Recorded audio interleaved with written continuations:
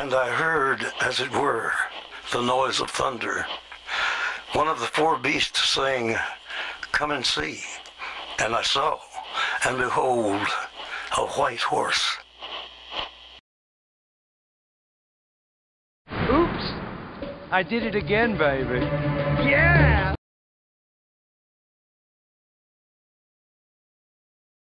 What led you through the hopelessly tangled underbrush of private security organizations to our door? Hmm? Stellar word of mouth? Our fine client roster? Those flyers we put up in that public urinal?